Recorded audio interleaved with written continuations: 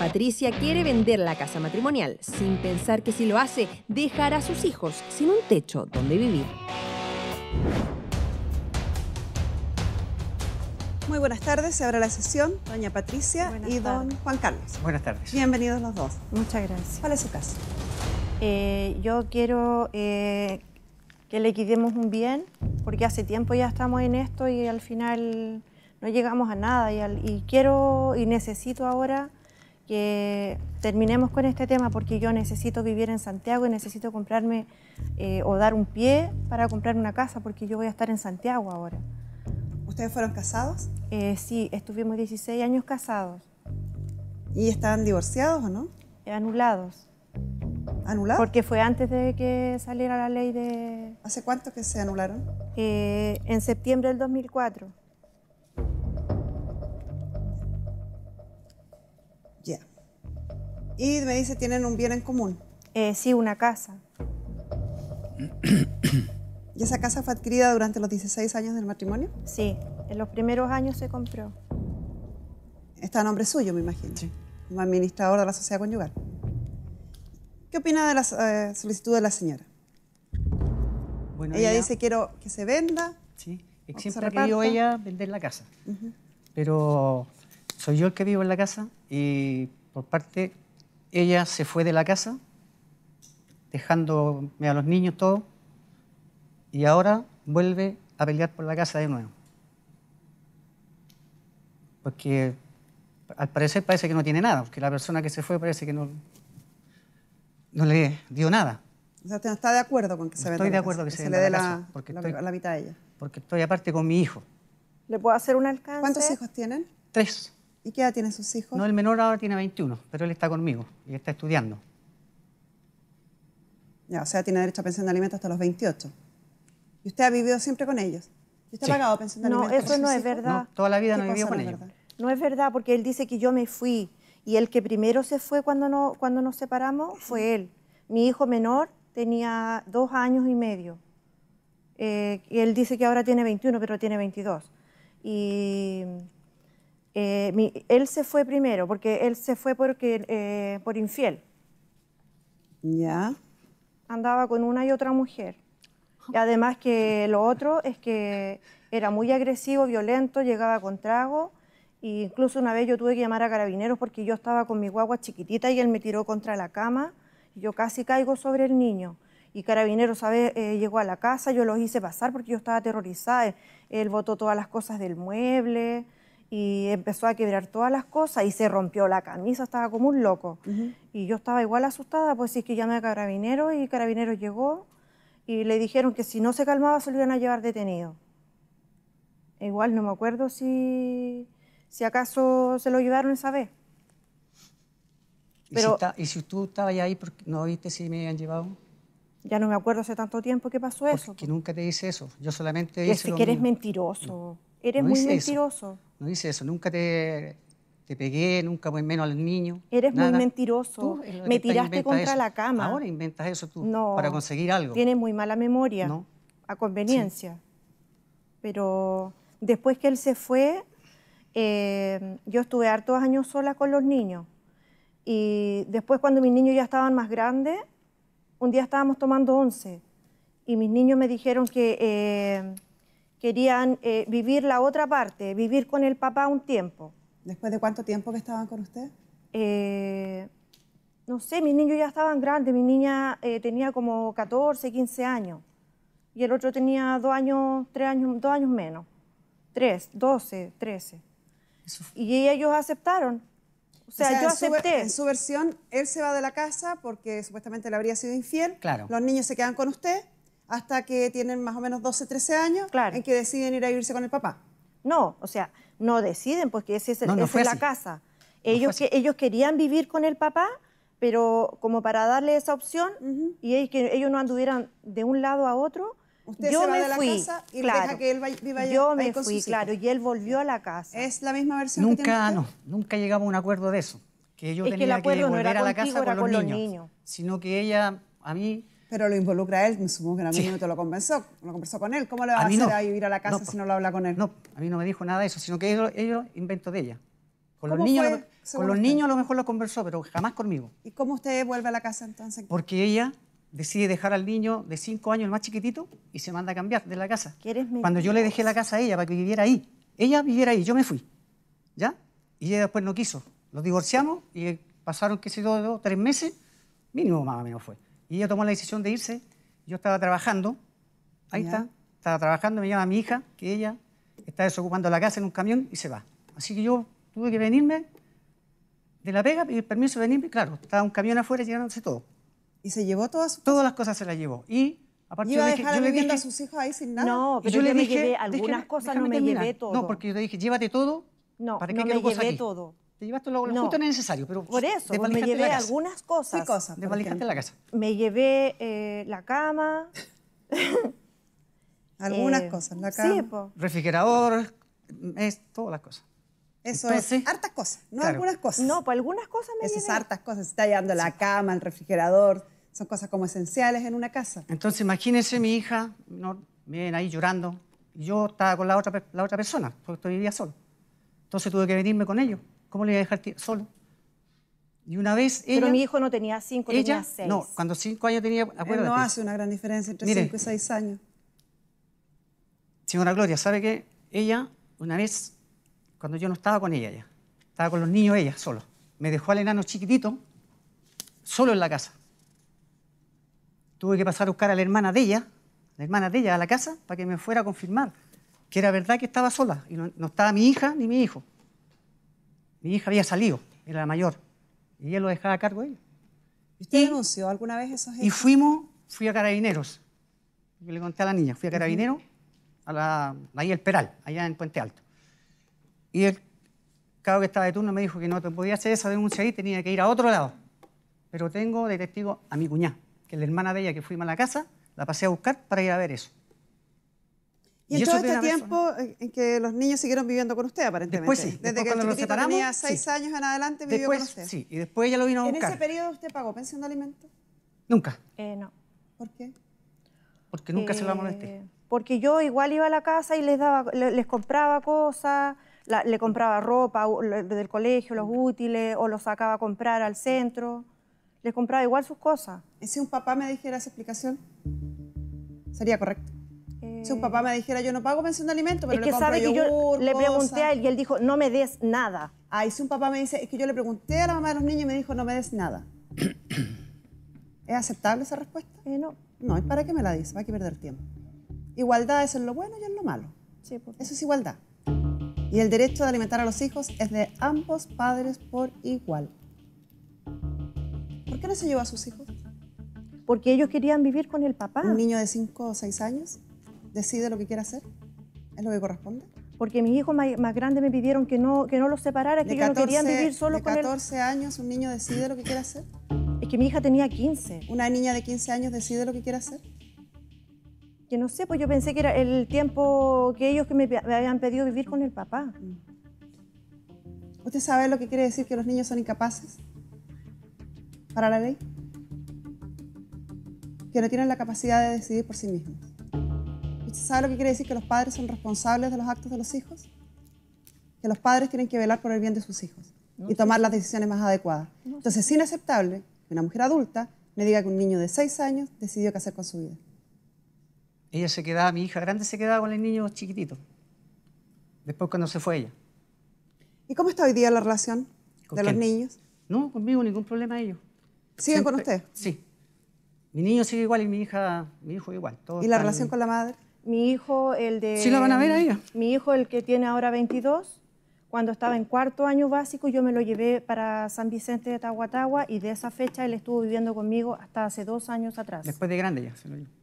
Ahí él se, igual no se quería venir, pero se vino porque estaba estudiando, quiere, porque quería seguir estudiando. No, él dijo que se quería venir cuando terminara el cuarto medio, se quería venir para acá y se vino. Y ¿Usted sabe que su hijo de 22 años, según usted, tiene Está- derecho a pensión de alimentos hasta los 28? No, sí sé. ¿Y está pagando pensión hoy? Yo se la doy a él la plata. ¿Está pagando una pensión de alimentos? en nom- Pero a él, a mi hijo. No, no le pregunté quién. ¿Está pagando una pensión de alimentos en forma mensual, regular? Sí. ¿De cuánto? Eh, ahora él me pidió 50 eh, en efectivo porque tenía que pagar matrícula y la otra plata se la di así en efectivo, porque él está en San Vicente y tiene que, se maneja para allá y para acá, porque ¿Y dónde va a vivir su hijo si la casa se vende? Es que sabe que del tiempo que la otra vez cuando eh, él estaba solo, yo traté de, de que vendiéramos la casa. Sí, pero no le estoy preguntando por él, le pregunté bien específico. ¿Dónde va a vivir su hijo si la casa se vende? Es que no, no sé, pues en este momento... ¿No eh, es tema? escúcheme. El, tema es que él me había pedido vivir en la casa y yo le había dicho que él me diera lo que, la mi- lo que el valor de la mitad de la casa. Porque él me, me pidió que ¿Y qué suma es esa? ¿Cómo? ¿Cuál es esa suma? Es que yo quiero que él me dé la mitad. ¿Cuánto es eso? 35 millones. Él quiere que le pague 35, ¿Usted quiere que él No. le pague 35 Sí, millones? Sí. ¿Y él tendrá 35 millones? Es que no sé por qué podría pedir un crédito hipotecario y darme ¿Y la la plata. pregunta respecto a su hijo no es tema? ¿No es preocupación No, suya? si es tema. Para mí mis Entonces lo debe pensado. Entonces insisto en la pregunta. ¿Dónde va a vivir su hijo cuando se venda la casa? Es que yo no quiero que se venda porque él me quedó de comprar la casa. ¿Tiene 35 millones? ¿Usted pensaba en entregarle a la señora? No, para nada. Nosotros llegamos a un acuerdo, fuimos a una mediación primero. Ya. Y la jueza nos dijo que llegáramos a un acuerdo. Y llegamos a un acuerdo, que yo le pagaba 200 mil pesos para que ella pudiera pagar un dividendo durante tanto tiempo. Ya. ¿Ya? Y me dijo que ella que sí. O sea, en el fondo es comprarle el 50% comprarle lo- en cuotas de mensuales ella. de 200 mil pesos. Exactamente. ¿Y qué pasó Y con ese acuerdo? Resulta Que que, no quiso. No, no, porque mire, el- Era- eh, era eh, ese no, plata, no me es tan que cierto ese acuerdo. No es tan cierto, porque el último acuerdo, que al final, porque toda la, la- la- la- las- el tema de la casa lo he hecho siempre yo, porque él como que está tan bien cómodo ahí viviendo. Si tú es la que quieres venderla. Él y sus hijos. No, no, mis hijos no viven ahí, Vivieron ahí hasta hace poco y hay uno que sigue viviendo ahí. pero que llegó hace, hace dos años nomás, porque vivía conmigo. Está viviendo ahí. Claro. Y, Estaba de paseo. y el último acuerdo fue que eh, yo, él me iba a comprar la, la- la casa y que íbamos a hacer ante notario el acuerdo. Así como se Pero es hacer. que eran 20 millones y la casa, después ya no, no, no- él no me llamó que, que lo íbamos a hacer ante notario y ahora vamos a empezar, nada, ni se pronunció. O sea, si él formalizara este acuerdo ante notario como corresponde, donde le compre el 50% de sus gananciales en 20 millones, pagaderos con 200 mil pesos mensuales, ¿usted estaría dispuesta? No porque yo quiero más, porque la casa vale mucho más. ¿Cómo Yo- adquirieron esa casa? No, yo la compré por intermedio de una cooperativa. ¿Es la única vivienda que tiene? Sí, la única. ¿Y la compró durante el matrimonio? Exacto. ¿Y usted? ¿Es la única vivienda también? Eh, sí.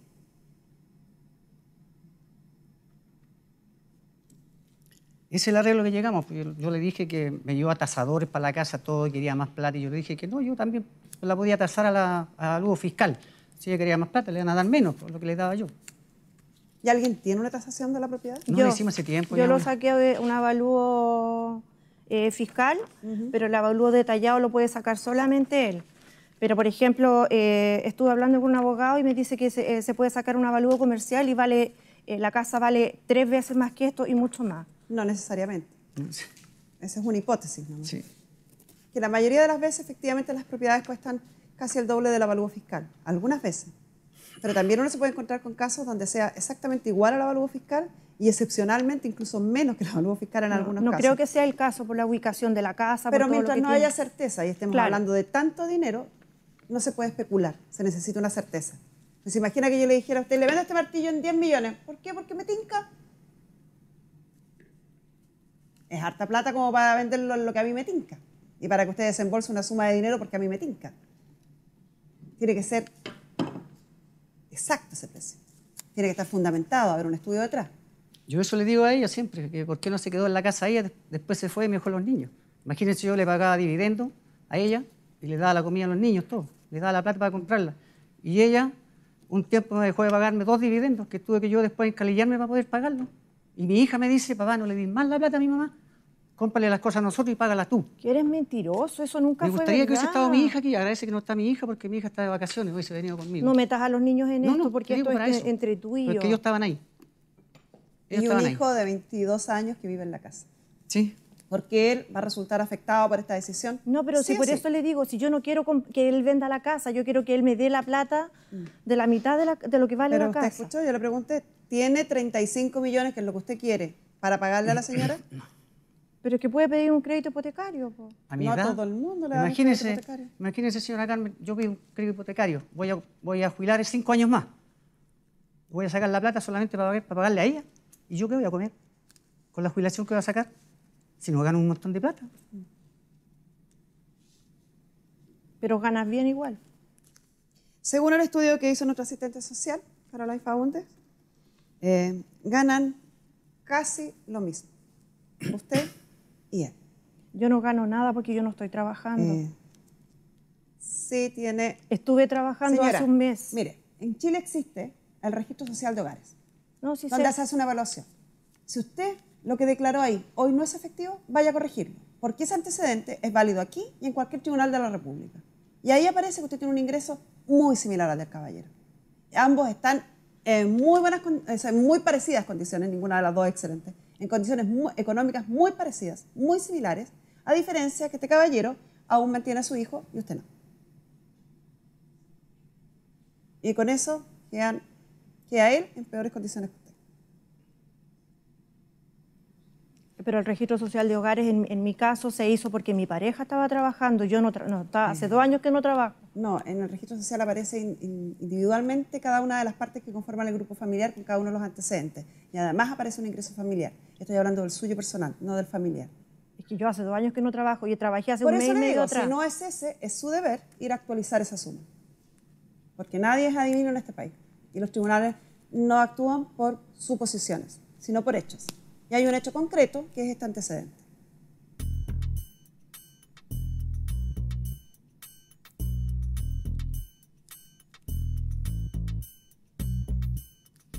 Yo, señora Carmen, yo no, casa no la voy a vender. Si podemos llegar a un acuerdo, sí. Siempre que ella esté de acuerdo con lo que yo le puedo dar. ¿Cuál sería el acuerdo que usted puede proponer? Yo miro con la plata que gano, lo único que le puedo darle son 200. Pero después está cierto tiempo. Del precio justo, después de hacer una tasación Exactamente. seria. ¿Está de acuerdo? Sí, porque más allá no, no puedo. Yo nunca me he negado a ese tipo de cosas. La proposición que podemos más. hacer nosotros, pensando en su hijo de 21 años que tiene aún derecho a pensión de alimentos durante los próximos 7 años porque está estudiando, estudiando una carrera, es que lleguemos a un precio justo a través de una tasación realizada por don Esteban de Barbieri y su Instituto Inmobiliario de Chile. Esa tasación nos va a dar el valor real, comercial de la casa y el 50% que corresponde a ese valor, el caballero lo ofrece pagar en cuotas de 200 mil pesos mensuales. Pero es que sabe que yo quería pedirle que si él me puede dar una cantidad que sea mayor, no sé si se puede conseguir un crédito o algo, porque resulta que yo necesito comprarme una casa porque yo voy a estudiar ahora y necesito vivir en ¿Podría algún dar lado. un pie a usted eh, No, porque voy a quedar igual, porque- del- Porque voy a quedarle pago? pagando 200 y voy a quedarle encalillado también en el banco a hacer lo mismo. Es verdad. No va a poder por ningún lado. O sea, voy a, voy a trabajar solamente para pagar Tendría que pagar a el crédito y más los 200. Claro, los dos. es verdad. Entonces, no se puede. No puedo. No puede el caballero. Él gana más o menos lo mismo que usted. Saque la cuenta, si le pagara 200 mensual, o lo que usted ganaba, lo que el registro de- dice que ganaba hace un mes atrás. Si usted pagara 200 mil pesos mensuales, más una cuota de un crédito en un banco, ¿le quedaría plata para vivir? Él gana más o menos lo mismo que usted. Saque la cuenta, si le pagara 200 mensual, o lo que usted ganaba, lo que el registro de- dice que ganaba hace un mes atrás. Si usted pagara 200 mil pesos mensuales, más una cuota de un crédito en un banco, ¿le quedaría plata para vivir? Con la plata esa no. ¿Y educar a otro hijo? Pagar cuotas, pagar cosas no. No, se- no se podría. Si es todo fácil pedir, pero hacer las cosas, realizarlas es lo malo.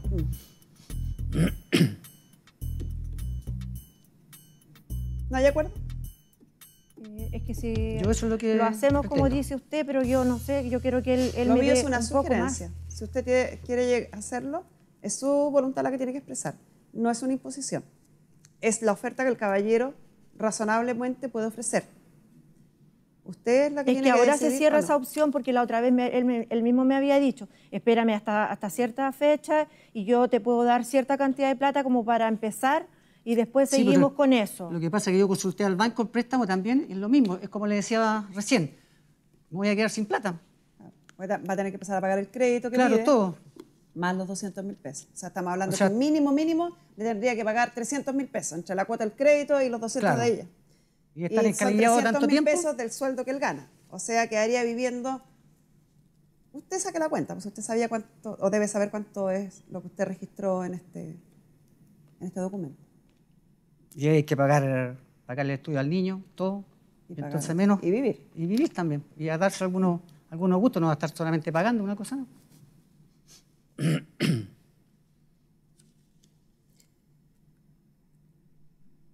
Cuando hay involucrados bienes de un valor considerable, como en este caso, la Corporación de Asistencia Judicial no asume la representación de estos casos porque cuando hay un interés pecuniario importante, se supone que las partes tienen a lo menos la capacidad económica para seguir adelante con un litigio de este tipo. O para pagar a resultas, pagarle al abogado un porcentaje de lo que se obtenga en este juicio. Es que sabe si que usted quiere de demandar al caballero, si usted quiere demandar al caballero, va a tener que buscar en la vía privada un abogado que la represente y pedir la liquidación de la sociedad conyugal. Usted, caballero, mientras su hijo está estudiando, tiene derecho, derecho, a que la madre le pague, o aquel de los padres que no vive con él, que en este caso es la madre, le pague una pensión de alimentos. La pensión de alimentos, lo hemos hablado muchas veces, consiste en el pago de una suma de dinero, ¿cierto? Que el tribunal determina de acuerdo a los ingresos y necesidades de la Así como ella me lo, me lo dice a mí. Si esa suma de dinero, por alguna razón, esta señora no la pudiera pagar, también se puede pedir el derecho de uso, un usufructo, por ejemplo, de la propiedad, hasta que el niño complete su derecho de alimento, que es hasta los 28 años. Con eso gana 7 años para poder evitar Evitar el. que le liquiden, le vendan la sociedad conyugal y usted y su hijo queden en la calle. Qué bueno. Así, en 7 años más, cuando su hijo haya terminado los estudios, pueden liquidar este bien común y quedarse cada uno con su parte y a lo mejor comprar una propiedad de menos valor o arrendar o hacer lo que usted quiera, se va a viajar por el mundo. Sí, porque ya no va a estar el niño en la casa. Lo que usted quiera porque ya no va a tener el gasto en educación de su hijo. Exacto. Y es su, es su obligación, señora, como mamá, pagar una pensión de alimentos para su hijo. No, si se nosotros lo acordamos Entonces con ahora yo la, lo puedo hacer la. Fíjese la que puedo en una modificación reciente, los padres, a pesar de que el hijo sea mayor de edad, si el hijo vive con ese padre, si ese padre es el responsable económicamente del hijo, es él el titular del derecho para pedir pensión de alimentos, aunque el hijo tenga, como en este caso, 21 años. Así que ese esa pensión que usted paga de vez en cuando, de cuando en vez, debiera entregársela al caballero. Y con esto, Yo la puedo demandar a ella por, por eso. supuesto, por lo que le estoy diciendo. Usted la puede no- remandar de alimentos no a ella hacer. para que lo haga y No esos alimentos, porque ese se pago de alimentos puede consistir en el derecho de usufructo o Entonces- el derecho de uso de habitación. Y usted si quiere que se liquide esta casa y no le importa dejar a su hijo en la calle, lo puede hacer a No, través de la no, liquidación de la sociedad conyugal. Y con esto cerramos la sesión. Gracias, señora Carmen. Que le vaya muy bien.